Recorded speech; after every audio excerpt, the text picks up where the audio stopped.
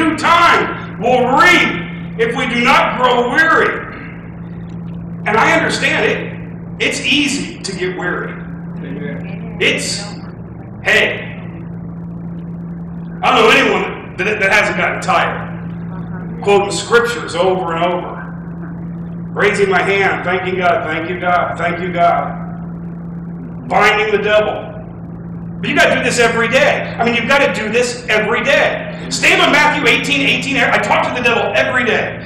Every day. And I, I'm not saying that like, look at me or, you know, uh-uh. I, I've got to do it to, to survive. I tell him, no, huh, in the name of Jesus, I bind you. I have authority over you and I bind you. This is spiritual warfare. This is how we fight the devil. And I'm telling you, I understand it gets tiring. Saying the same scriptures, quoting with the devil every day. This is how Jesus ran the devil off. This is how we do it. This is how we do it every day. I bind you, you liar. Jesus has given me authority, and I bind you. You got to stay away from my family, my finances, my job. In the name of Jesus and the authority of the Word of God and the power of the Holy Spirit. See, we got three weapons in our toolbox. All three of these things. I bind you. You back off. Yes. Amen. And you'll go a day, and he's not backing off. And you're a little tired.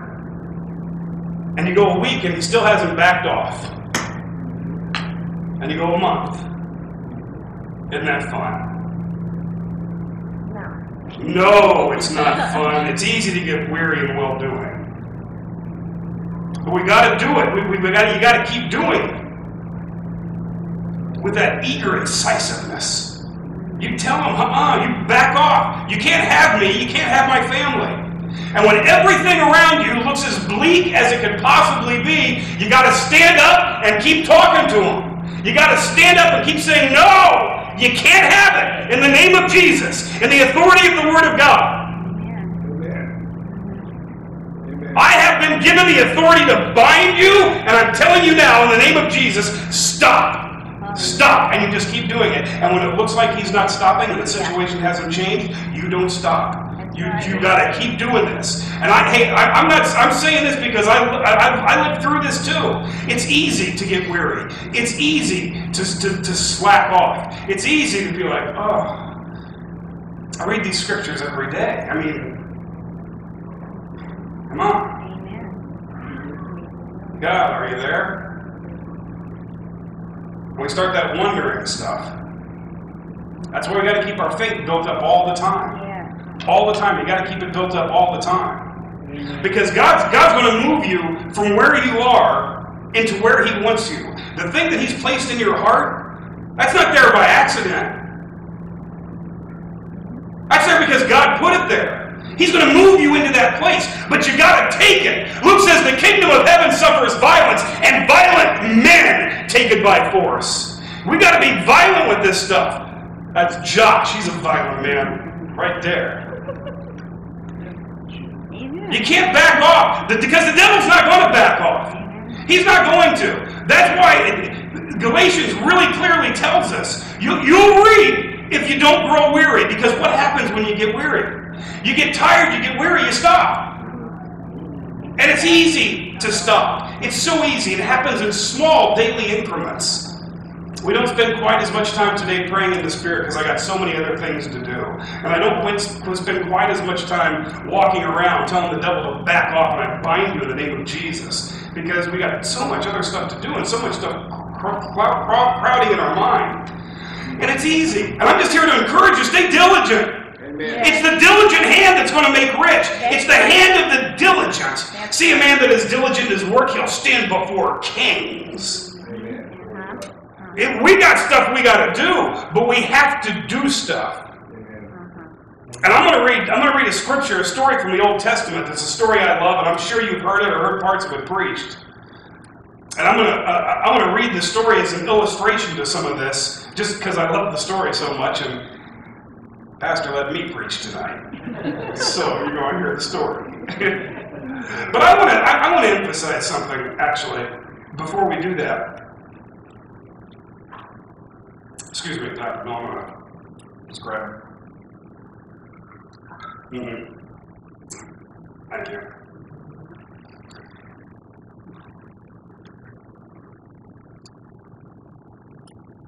I want you to know that I do understand how difficult it is.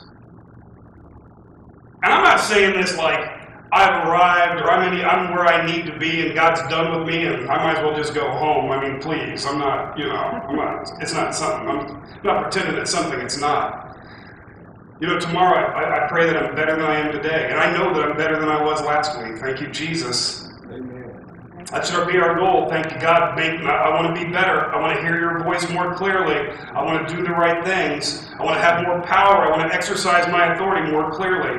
And I, and I want to. But I understand what it's like going through stuff and feeling like, are we, are we ever, are we ever going to get out of this?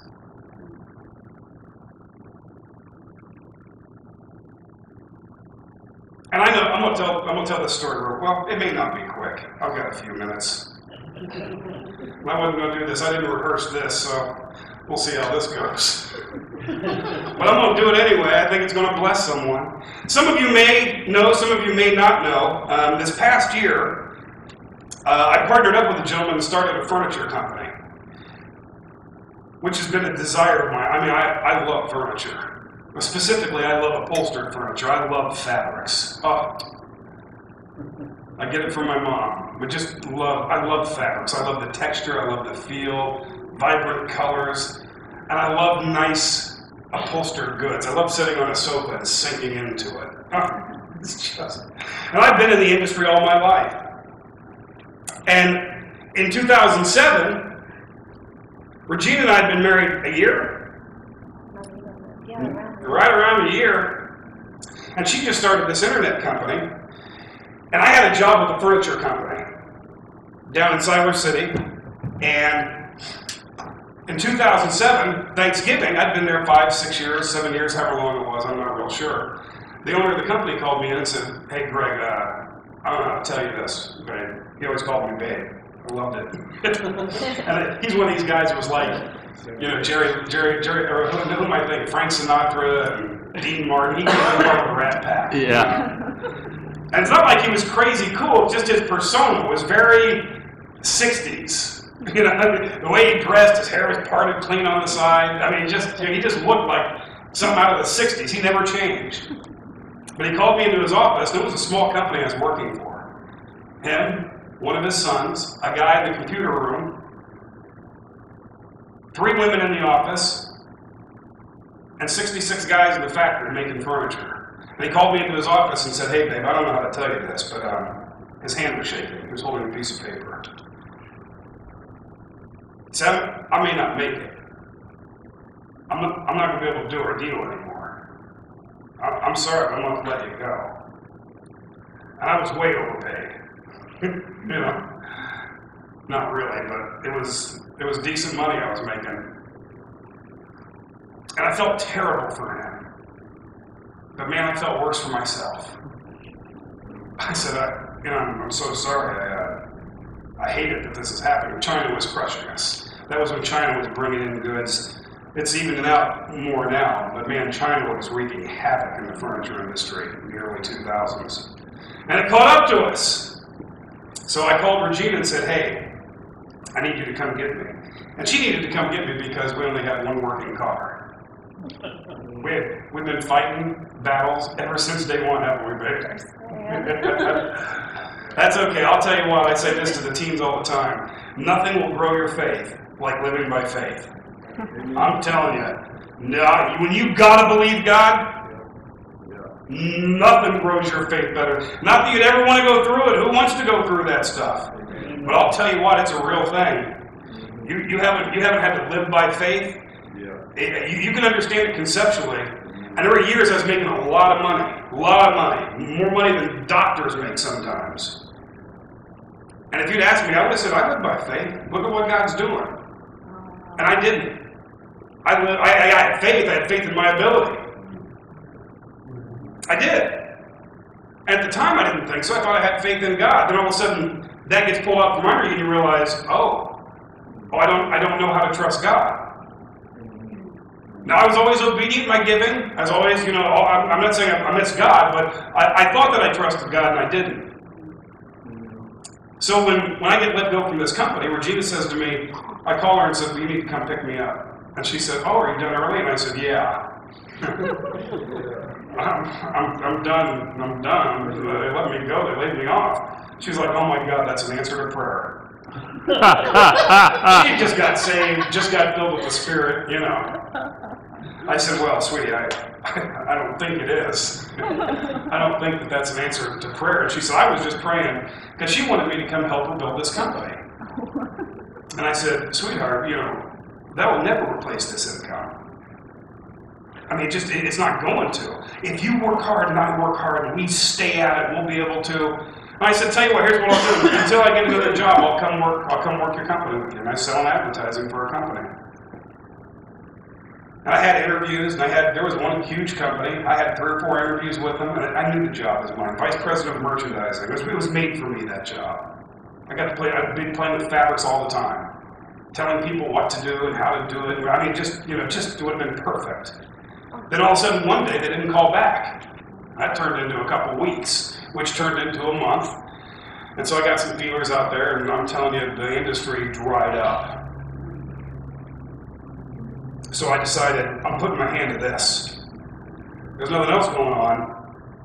We're gonna we're gonna sell some advertising because we got to eat, and we worked diligently. Amen. Years.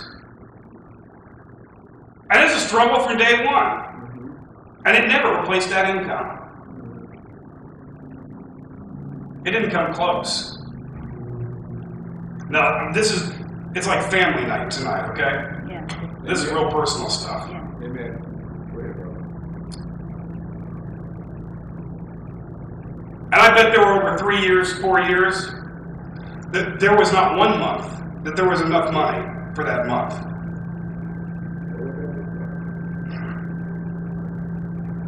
I know what it's like. I know what it's like being behind rent. I know what it's like when Thursday's coming and the electric company's not going to extend you any more days to pay your bill, and Thursday's coming and the power's getting shut off. And I'm quoting my scriptures every day. And I'm not saying that's perfect and I did everything right. I'm not, I'm not, but I'll tell you what, I never let this slip. God, I thank you that you prosper the work of my hands. I thank you, God. I thank you you put this opportunity in front of me. And every day I'm going out, and early on, Jean was going out too. Then little Miss Katie came along and she didn't go out as much. Back And so we're, car. what's that? Back to one car. You're right, being back to one Yeah. car, and yeah, I'll, I, we're not going into everything, but it was, dear Lord.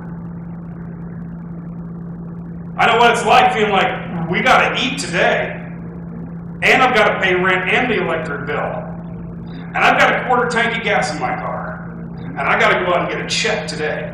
Today I've got to get a check. Today, today I've got to get a check. And you go out and you talk to these people, and business is terrible everywhere, and they're saying, Greg, I, I got to pay my electric bill. I, I, I'm not buying any advertising right now. And so you get home not feeling like the king of the world that you want to feel like as a man. Right? And now you're home and you're saying, Father God, I thank you. God, I thank you for taking care of me and my family. I thank you. And dinner's cooked. Regina's done something and she's got food on the table. And thank God for this woman. I mean, I'm. She had my back. Never doubted, never questioned. Amen. Tell me I'm the greatest salesman in the world. We'd go weeks I couldn't sell anything. Come on. And all of a sudden, you know, you get a week and you almost get caught up and it feels like, woohoo! And then you look at the final numbers and you're like, yeah, we're still so far behind. But okay, I'm telling you what, I'm not, I am not letting up. I am not stopping quoting these scriptures. I am not stopping thanking God for what I'm doing. I am not, I'm not going to stop telling Him that I'm so grateful that He's taking care of me and my family and He's making me prosperous because I'm going to be diligent with what I'm doing. Yes. Amen. Glory to God. And during that time, praying about what I was supposed to be doing, Regina at one point said to me, Do you think that you should get another job? And I said, I, I don't think so, but let me pray about it. And I was clear that I wasn't supposed to. I knew I wasn't supposed to. So You- You're not making enough money. Why wouldn't you go get another job? And anyone that knows us, they know that we're, we're struggling. Well, not many people, but the people that we shared stuff with. We didn't share a lot of this with anyone. You know, it's hard to live in faith, right? When you're like, well, things are just so terrible. I don't know what I'm going to do. Rich doing it. It's just so hard. It's a hard old way. as Dr. Bill says. It's a hard old way. No! We just thank God. God, I thank you. I thank you for taking care of me. I thank you for taking care of my family. Amen. And everyone and everyone's saying that, that knows what and they won't say it to me, but they'll say it to Regina. I don't know why he doesn't just get another job. Why doesn't he do something to take care of you guys? Why, why, why, why, why, why? All this and you know their hearts are good. Yeah. Well, I don't know, maybe not everyone's. I'll give them the benefit of the doubt. Yeah. you know, no one wants you to hurt, but they don't understand. God told me to do this. Yeah. Amen. Right. What do you What do you want me to say? And finally, there were, there were two or three times I broke down and said, God, I, I'll keep doing this, but I'm getting another job. And I'm telling you, I couldn't get a job at Walmart or Starbucks. I, I'm being dead serious. Wow.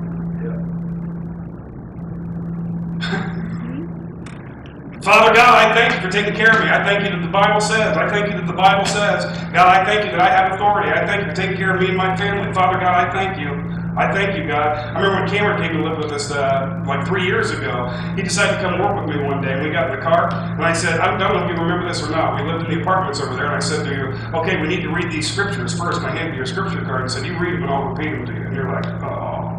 Because these, these cards take a long time to read. Yeah, we're going to Winston, and we didn't have enough time to finish the thing, so we drove around a little. It may not have been that bad, but he never came back to work with me. I'm kidding, I'm teasing. But we did do that every day, every day, every day. I'm, I'm quoting the scriptures. This is getting inside me. I'm not letting this slip. I can't. Did it look any better? It didn't look any better. I'm telling you, it didn't look any better. And we had weeks where we had victories. We had weeks where it, we didn't. Yeah. Yeah. But I kept doing what I felt like God wanted me to do.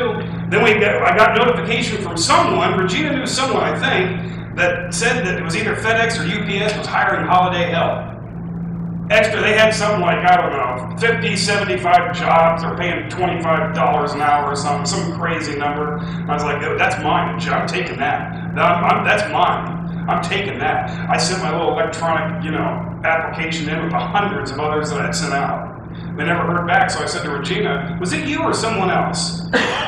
no, it may have been someone else. But I, yeah, no, it wasn't. I can't even remember who it was, but I called and said, um, hey, I haven't heard back from anything. You- you- I know that you know the guy that said that they were posting all these jobs. Is there anything I can do to get my name out there? Get in front of someone. Let me stand in front of someone and interview. You know, I, this electronic stuff, I can convince them to hire me, but I want to get in front of someone.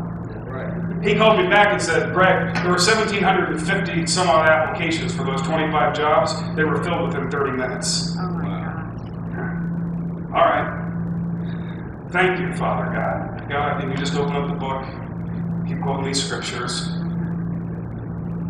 And during that time, one of our advertisers owns a furniture store, and he was doing some deal trying to sell furniture and get some furniture made for a distributor. And he said, Hey, I know you used to do this. Would you be interested in working for points, getting back in furniture? And I said, uh, Yeah. You know, please. I'd, I'd love to do that. He said, I need help with merchandising. If we can put this thing together. And I said, all right. So, long story abridged. I know it's not short. That, that deal fell through. It never, it never came about. But in the interim, this spark on the inside of me was ignited to start a line of furniture. And I realized if I got someone with financial backing, with what I know and who I know in the industry, we can do something. And so this guy agreed to, to do, do this with me. We're going to go to market a year ago, October. I had six groups of furniture I was going to. And when it came time to place the order with the factory to get the samples made, I said to the, the guy that was my partner, going to be my partner, was real tentative. We hadn't signed an agreement yet. I said to him, I need to know if you're ready. Because I'm going to market in October. And I need you to write a check if you're in. And he said, Well, I've got some issues, some stuff going on. What would you do if I if I wasn't the one who did it? I said, I, I have no idea, but I'm going to market. See, this is what faith speaks. This isn't because I was so great. This isn't none of that stuff. It's because over and over you keep filling yourself up. And I, the only thing I know is I'm going to market. I mean, I felt like God spoke this to me. I mean, I, I'm going to. Oh, I'm gonna. I'm gonna show it. If I have to put sofas on the back of a pickup truck and drive them around High Point, I'm going to market. I'll be there. And I don't have time to go into the whole story, but you, I, I, it would, some of the miracles that have happened would, you, you'd be baffled. I'm baffled. I'm still so grateful. So he bails out and he says, Well, if you can find someone else, just let me know. I said, All right. There was one other guy that I'd become friendly with that we were selling advertising to. See how this is tying together? God had me selling advertising when I didn't want to sell advertising, when it looked like I should go get a job at Walmart. But in that interim, I met a guy. God's so good. And so I went to him and said, Hey, this is my situation. I got a partner who may pull out, and this thing potentially could be huge. I mean, big, huge. I mean, life changing, huge.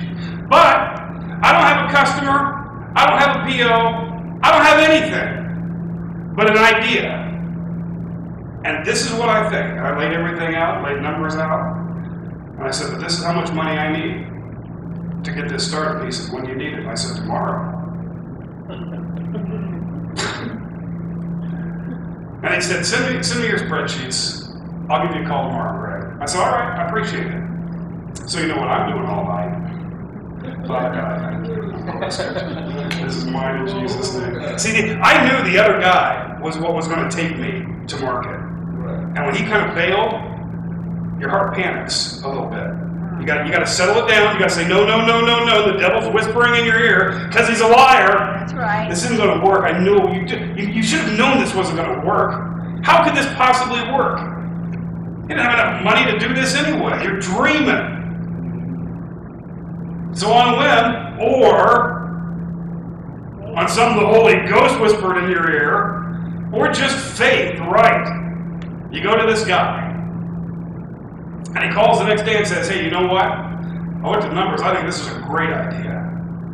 Did some research, see the guys you want to sell. Let's do this. Now, I don't think he had any idea when he agreed to that what he was jumping into because God's hand is all over this, and this thing has it's it's turning into something that neither one of us could ever have imagined. And I'm so grateful to God. And hey, by the way, I'm not there yet. We still have, I'm, it's not like I've even broken even. I'm not saying, woohoo, I'm buying God. You know, it's nothing like that.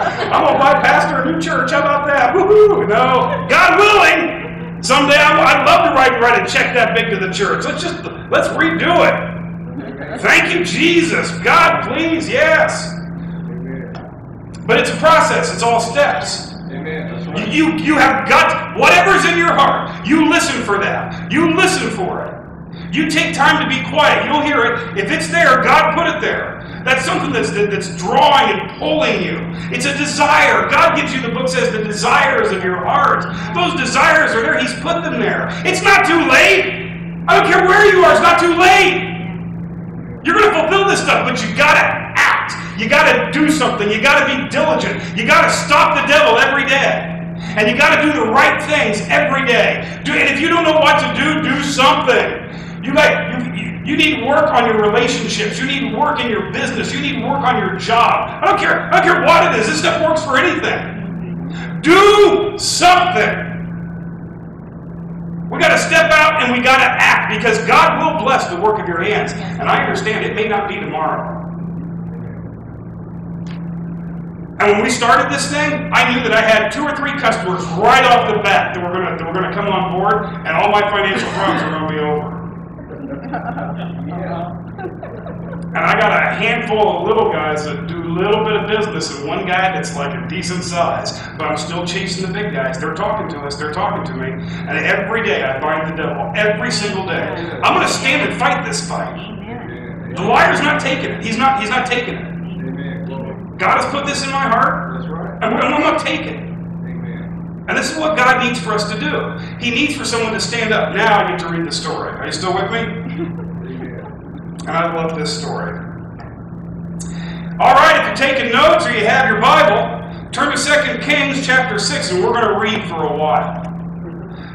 Every time I've ever heard this, this story preached, how we doing, Cam? All right. Every time I've heard this story preached, um, everyone always you know does the abridged version because it's it's a story.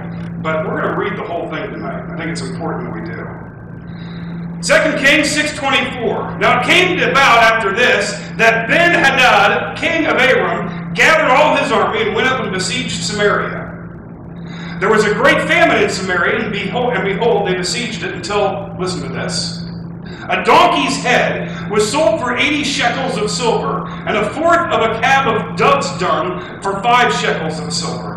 I don't care how bad it is for you. I don't care how bad it is for you. The city was shut up. Nothing was coming in and nothing was going out. You think your economy is bad? Theirs was non existent, it was crushed. People are buying donkey heads in the city for 80 shekels of silver to eat the eyeballs and the brains and to make soup for a meal. You think you got it bad? Come on now. You think God can't do something? Listen to what the, listen to this story.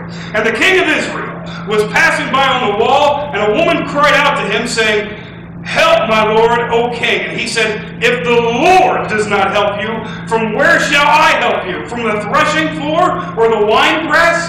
We don't have any wheat on the threshing floor, and we don't got any wine in the presses. We're broke. What do you want me to do?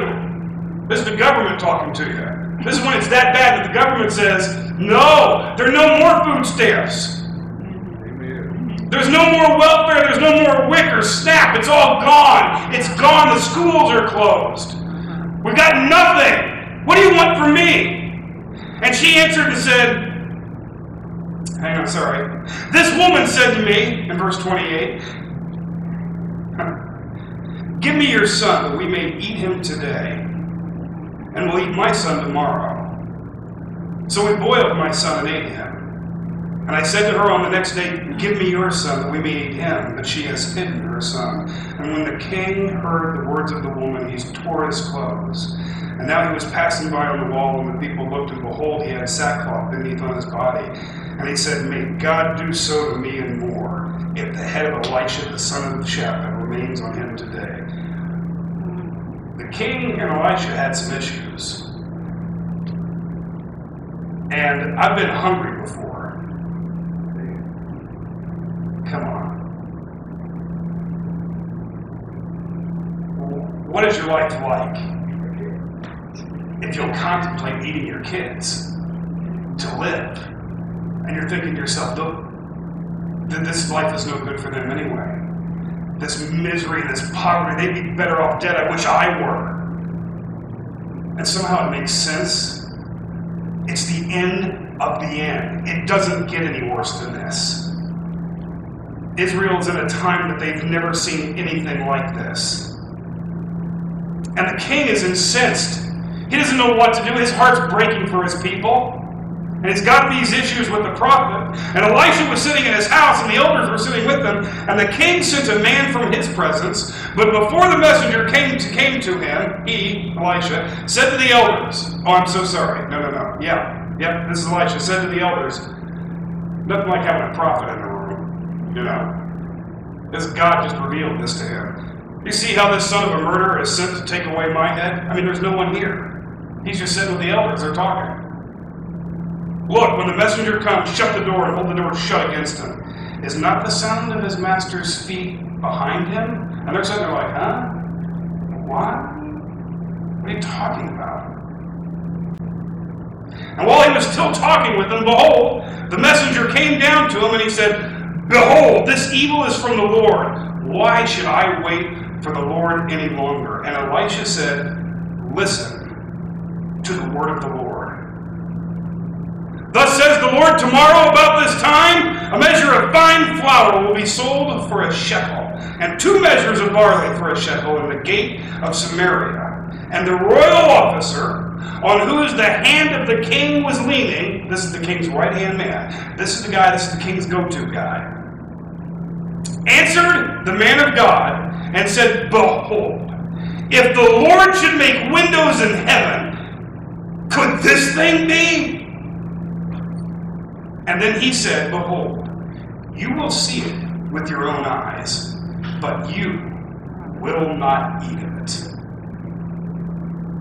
And it seems like we're getting ready to tell a different story, but we're not. We're just segueing. This is the part of the story that uh, we came from here for tonight. Ready? Now there were four leprous men at the entrance of the gate, and they said one unto another, Why do we sit here until we die? If we say we'll enter the city, then the famine in this, is in the city, and we'll die there. And if we sit here, we die also. Now therefore come and let us go over to the camp of the Arameans, and if they spare us, we'll live. And if they kill us, we'll but die. With it, it doesn't matter what we do. We're going to die if we sit here. And if we go into the city where the famine is, we're going to die there in the city. Now we can go to the camp of the Arameans, and we got a shot at them sparing us. I mean, they probably won't. We're probably going to die there, but we got a shot. And understand, this was a camp. Not like, don't think KOA campground camp. The city was shut up. These people were camped out. If it was going to take six months, a year, three years, they're starving everyone out of Samaria. Uh-huh. So they had they had a camp that was like a city set up. People brought stuff in to buy and sell, and there were stores. I mean, this this, this is how I envision it. They had more stuff. That, they were living here. We say camp. Don't think campground. Think like compound. I mean, it's huge. Thousands and thousands of people living off the supplies in this camp. And they knew they were going to be there. If they had to be there years, they to be there years. Because it, it, if we stay here long enough, they're all going to starve in there. We'll go in and clean the bodies up. If they come in, if they open that door and come out, we're going to go in and kill them. But they're not stupid enough to open the door, so we're just going to sit here and wait. And they had supplies and supplies and supplies. So the lepers were going to go to the gates of the, the camp and say, Excuse me, we're really hungry. And we got leprosy. Yeah. It's bad. Things are bad for us. Could you help us out? Yeah. And so what did they do? Something. Yeah.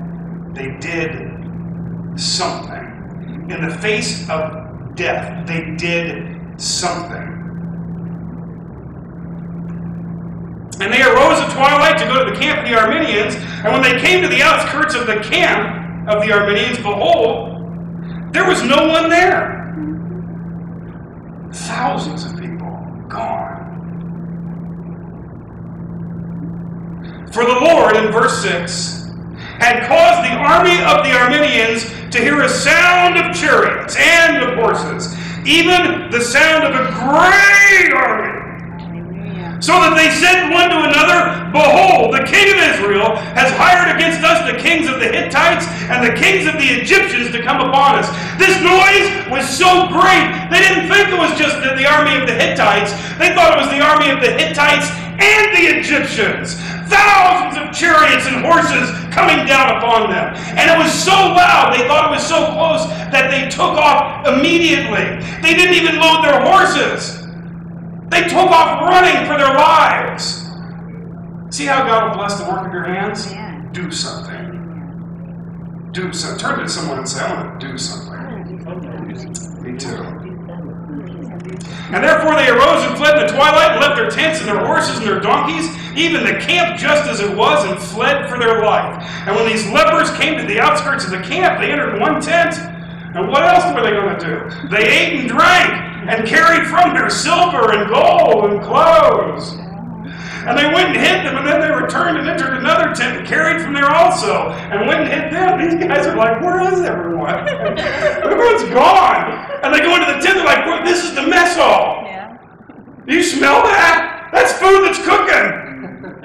It's still, it's cooking right now. Let's eat something. And they're starving and they, they start gorging themselves and they're eating this food and stuffing their pockets full of silver and gold and all this stuff and picking up clothes. They're lepers. Who knows how long they're going to last, but they're going to look good. they're stuffing their pockets. And one of them has enough sense to say, oh, wait a second. This didn't happen just for us. Uh-huh. Now, see, this is a whole other sermon. We're not going to do it. But God will bless, and it's not going to be just for you alone. And they said, they had enough sense to say, wait a second, we need to hold up here. We're not doing right in verse 9. This day is a day of good news, but we're keeping it silent. If we wait until morning light, punishment will overtake us. There's something about having a healthy fear of the Lord, too. Amen. Again, another sermon. There's just so much here. Now therefore come and let us go and tell the king's household. So they came and called to the gatekeepers of the city, and they told them, saying, We came to the camp of the Arameans, and behold, there was no one there. Not the voice of a man, only horses tied and donkeys tied, and all the tents just as they were. And the gatekeepers called and told within the king's household. And the king arose in the night and said to his servants, I'll now tell you what the Arameans have done to us. They know that we're hungry, and therefore they've gone from the camp to hide themselves in the field, saying, When they come out of the city, we'll capture them alive and get into the city.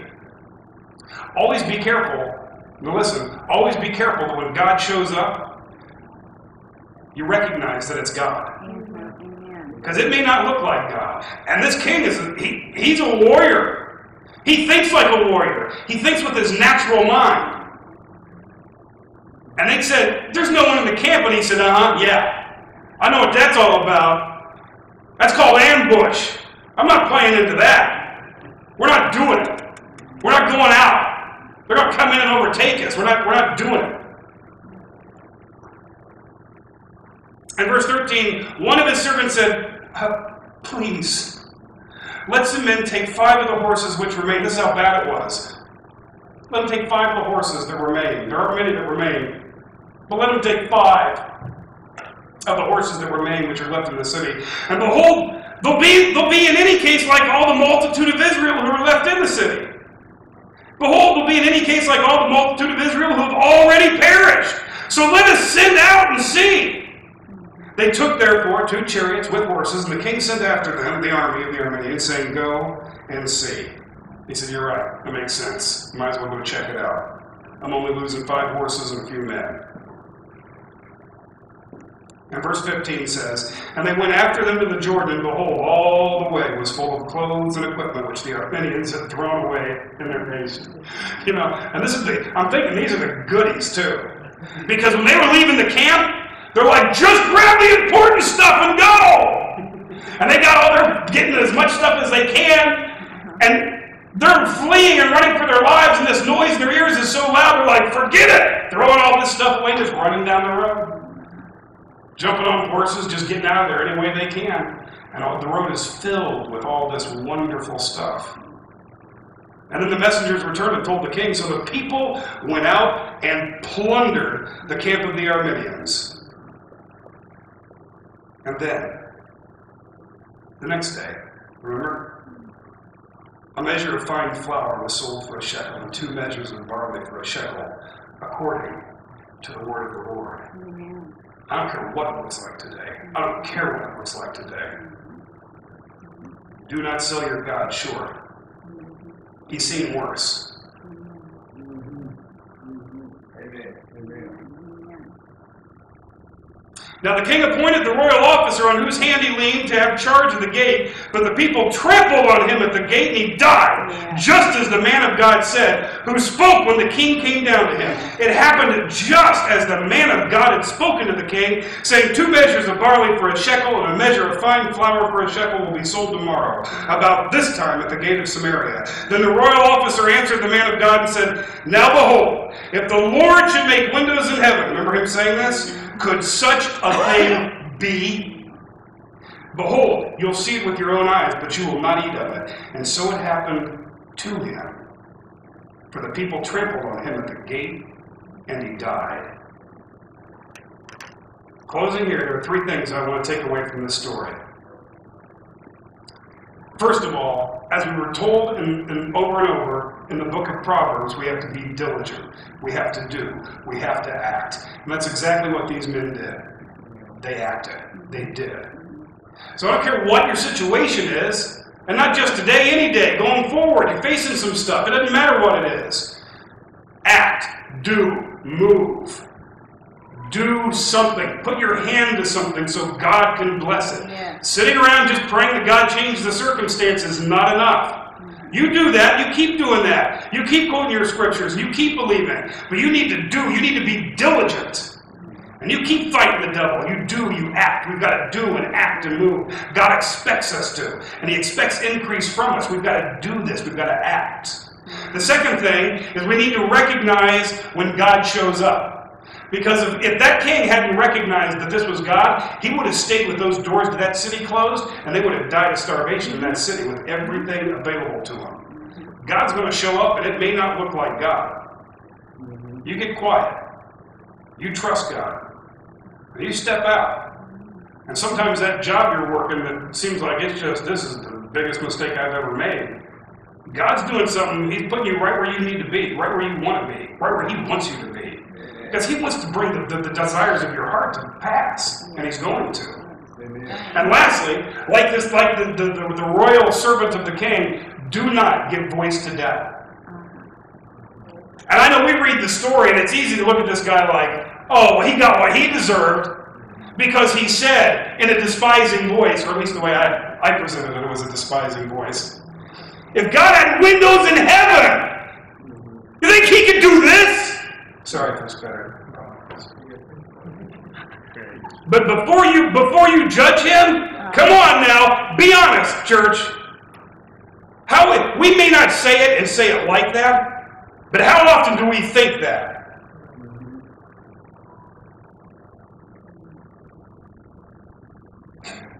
Come on. Look at the situation. My brother in law, his father just passed away this last year uh, to cancer. And late, late, late in his life, he got a hold of the word of faith. And he started, you know, quoting scriptures and believing God. And he died of cancer. And I remember my brother in law said to me, when my sister was talking about going to a different church, maybe the Baptist church down the road because they've got a great children's ministry. And that's where my brother in law's father went to church. My brother in law said, uh we'll never do it. She said, Why not? He said, We'll never know. But I have to wonder if we had been sitting in a church for the past 15 years where he was hearing the word and his faith was being built, he was being taught how to use his faith, would he still be alive today?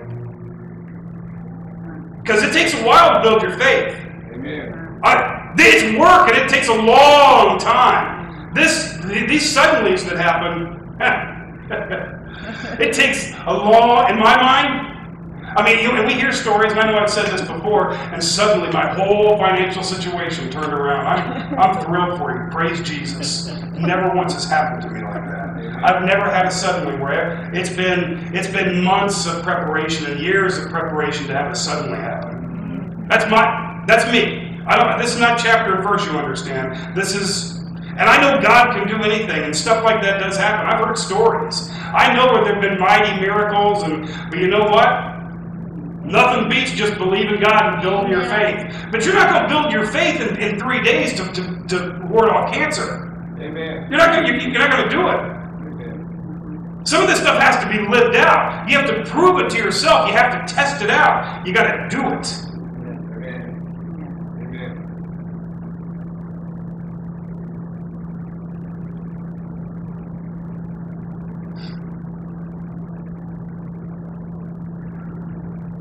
That actually wasn't part of any story that I wanted to tell. Give me just a second. We may close it down and I may say one more thing.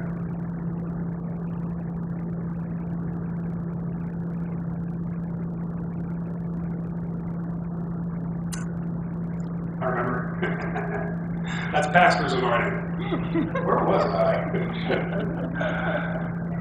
one day, Regina was talking to uh, maybe one of her friends or someone, I don't know who, and she was sharing this story. We're believing God.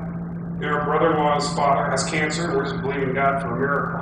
And the response she got from the other person was, well, the doctor already said he's only got a couple days to live.